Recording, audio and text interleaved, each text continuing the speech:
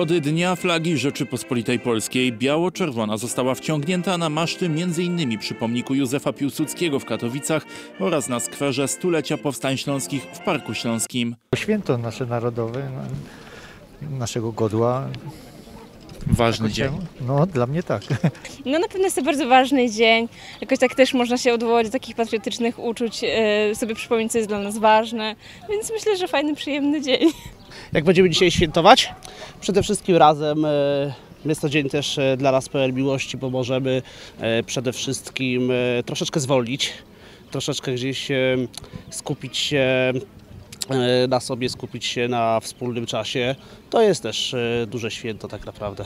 Uroczystości rozpoczęły się rano w Katowicach przed Śląskim Urzędem Wojewódzkim. Myślę, że trzeba pokazywać patriotyzm, e, przywiązanie do biało-czerwonej. E, Jest to wartość, która niesie dla nas dobrobyt, samostanowienie, no ale też musimy pamiętać o tych, którzy przelewali krew za naszą flagę na różnych frontach, w różnych okresach historii. Myślę, że ten szacunek jest bardzo ważny i cieszę się, że z roku na rok, 2 maja, to jest e, coraz e, lepiej odbierane święto. Władze wojewódzkie zachęcają też do wzięcia udziału w ogólnopolskiej akcji organizowanej z okazji Dnia Flagi. Wystarczy wywiesić biało-czerwoną flagę, zrobić jej zdjęcie i opublikować w mediach społecznościowych z hashtagiem Moja Flaga. Zachęcamy bardzo, bardzo zachęcamy do tego, żeby zamieszczać zdjęcia ze swoją flagą, ze swoją piękną flagą na, przy swoich balkonach, mieszkaniach, blokach, po to,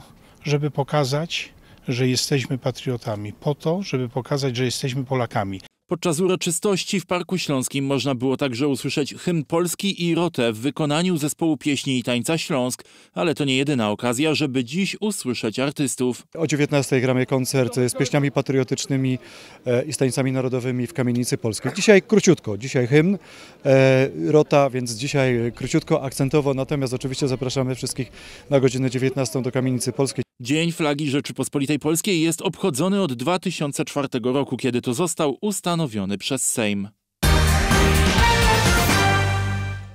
Ma zaledwie 3 miesiące, waży niespełna 6 kg i od urodzenia choruje na SMA. Mikołaj Kubala z Wodzisławia Śląskiego to jedno z najmłodszych dzieci w Polsce, u którego zdiagnozowano rdzeniowe zanik mięśni niedługo po narodzinach. SMA to ciężka choroba rzadka, która wynika z wad genetycznych. U Mikołaja zdiagnozowano ją w badaniach przesiewowych noworodków, które od niedawna na Śląsku wykonuje się każdemu niemowlakowi. Od razu nas skierowano do Katowic na kwalifikację do leczenia y, spinrazą. Y, Mikołaj dostał czwartą dawkę tej spinrazy. Ona spowalnia proces choroby. Nie leczy, ale spowalnia. I tutaj mamy trochę więcej czasu jakby y, na podanie terapii genowej, która jest szansą dla Mikołaja na, na normalne życie.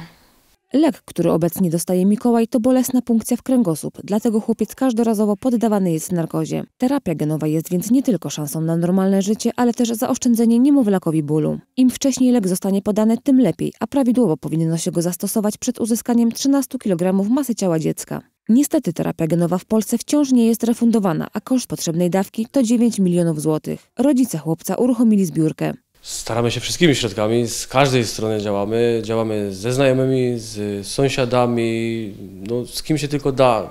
Działamy z każdej strony, prowadzimy zbiórkę publiczną we wszystkich możliwych miejscach. E, organizujemy różne festyny, koncerty. W pomoc rodzicom, a przede wszystkim małemu Mikołajowi zaangażowana jest cała społeczność lokalna. To głównie najbliżsi sąsiedzi są inicjatorami wszelkich akcji pomocowych. Zbieramy nakrętki, pojechał już cały jeden tir, ponad 7 ton, teraz będzie e, drugi zbiórka się nakrętek zaczęła. Od dzisiaj zaczęła się zbiórka makulatury, przyszła pierwsza tona makulatury już jako książki. Bo tu liczy się każda pomoc i każda złotówka, gdyż bez tego wsparcia rodzina Mikołaja nie jest w stanie sama uzbierać 9 milionów na najdroższy lek świata. I choć to kwota niewyobrażalna, nikt nie ma wątpliwości, że to po prostu się uda. Brakuje mi słów, jak mam rozmawiać na temat akurat jego. Jest to bardzo wrażliwy temat. Wiem, że to dziecko potrzebuje bardzo dużo pieniążków na wyleczenie. Proszę wszystkich i błagam, będę jako babcia i jako matka. Nie mogę patrzeć na to, żeby to dzieciątko zostało tak bez waszej pomocy. Wiem, że jest bardzo dużo życzliwych ludzi z wszystkich cała miejscowość stanęła na wysokości zadania. Każdy, kto chciałby pomóc Mikołajowi, może zrobić to poprzez oficjalną zrzutkę w sieci pod adresem siepomaga ukośnik Miki Myślnik SMA. W sieci prowadzone są też liczne licytacje, w których można nie tylko brać udział, ale też przekazywać fanty. To dość częsty widok na śląskich i nie tylko drogach podczas długiego weekendu majowego. Trwa akcja Bezpieczny Weekend Majowy, a policjanci szczególną uwagę zwracają na drogi i jazdę kierowców. Dziś policjanci kontrolowali samochody m.in. na ulicy Chorzowskiej w kierunku Bytomia. Na razie możemy powiedzieć, że ta majówka przebiega bezpiecznie. E, Od piątku odnotowaliśmy 14 wypadków, w których 15 osób zostało rannych. Na szczęście nikt nie zginął. Policja zapowiada, że na pobłażliwość drogówki nie mają co liczyć przede wszystkim ci, którzy rażąco będą łamać przepisy ruchu drogowego, innymi pijani kierowcy. Tylko w ostatnich trzech latach na śląskich drogach w okresie majówki doszło do 55 wypadków, w których zginęło 7 osób, a 74 zostały ranne. Poniedziałkowy poranek przed pierwszym urzędem skarbowym w Katowicach odbył się finał pierwszych mistrzostw Polski w rzucie pitem do kosza. Brzmi jak żart i może słusznie, bo organizatorzy pół żartem, pół serio chcieli wyrazić swój sprzeciw wobec składania zeznań podatkowych. Spośród wszystkich podatków, które są no, niezbyt przyjemne, to ten jest najbardziej podły, ohydny i okrutny i protestujemy przeciwko temu konkretnemu podatkowi, przeciwko podatkowi od dochodów.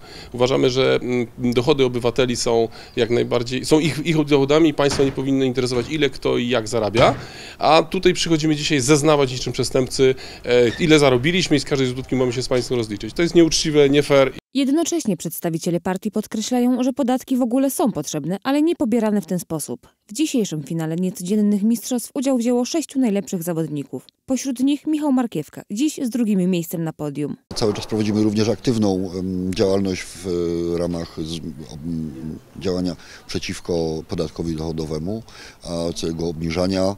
Choćby nasza inicjatywa tego, żeby mm, e, e, kwota wolna od podatku wzrosła bardzo mocno i ona wzrosła, ale niestety została e, zdeprecjonowana przez rząd za pomocą e, nieodliczania składki zdrowotnej.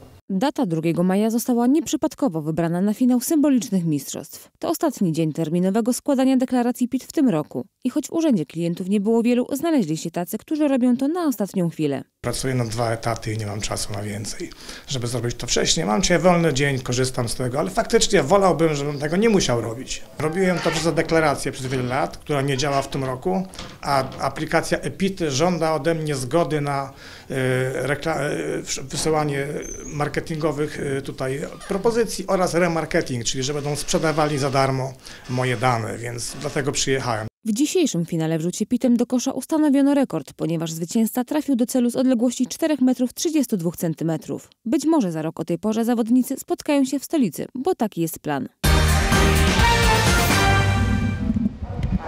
Na rowerze i pociągiem. Z takiego połączenia już teraz korzysta bardzo wiele osób. Za kilka dni mieszkańcy województwa śląskiego rower lub hulajnogę przewiozą za darmo. Pociągach kolei śląskich bezpłatne przewozy rowerów będą obowiązywały w weekendy od godziny 15 w piątek do północy w niedzielę. Hulajnogi będzie można wozić za darmo przez cały tydzień. Program Kołem po Śląsku, finansowany z marszałkowskiego budżetu obywatelskiego, rozpoczyna się 6 maja, czyli już za kilka dni. I tak naprawdę termin zakończenia tego programu przewidziany jest na 31 dzień e, grudnia tego roku.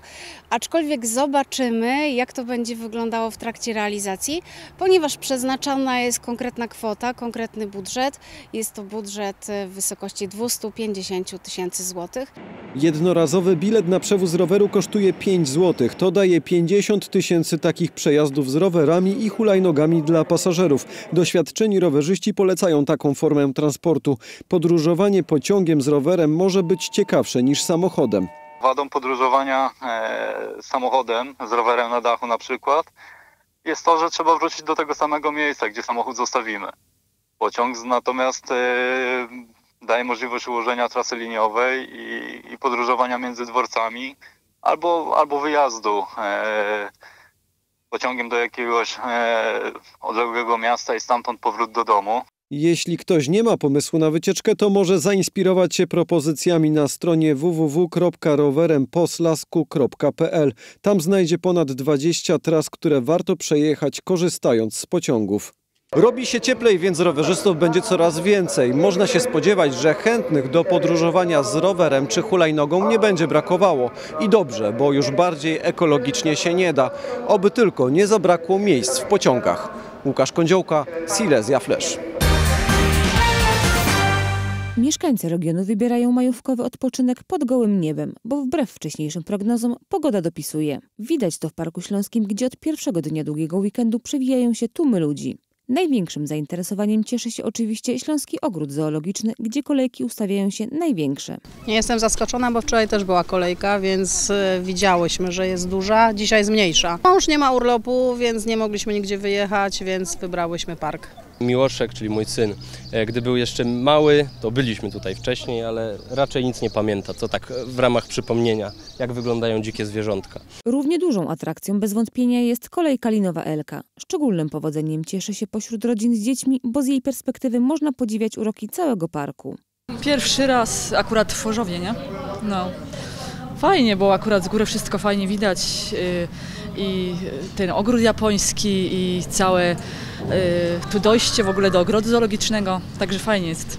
Ja się urodziłem i całe życie spędziłem w Katowicach, więc doskonale wiem co tu jest. Moja żona jest stosunkowo nowa, więc chcę jej pokazać nowe rzeczy. A z nowych rzeczy warto zajrzeć do ogrodu japońskiego, który uświetnia spacery po parku od zeszłego roku. Namiastka kraju kwitnącej wiśni o tej porze wygląda bardzo atrakcyjnie, a to nie tylko za sprawą nowoczesnej architektury, ale i zróżnicowanej roślinności. Wrażenia Wow. fajne, a pierwszy Pięknie. raz jesteśmy w ogrodzie. Przyjechaliśmy z wnukami. Bardzo ładnie. Bardzo mi się podoba, jest tutaj przepięknie, cały park jest przepiękny, bardzo ładny jest ogród różany, także ja zapraszam. Park Śląski to przestrzeń pełna ciekawych miejsc, które trudno zwiedzić w ciągu jednego dnia. Zapewne dlatego w majowy weekend cieszy się popularnością, bo zwiedzający mogą rozłożyć sobie atrakcje w czasie. W pokonywaniu terenu może pomóc aplikacja mobilna, którą Park Śląski uruchomił kilka miesięcy temu.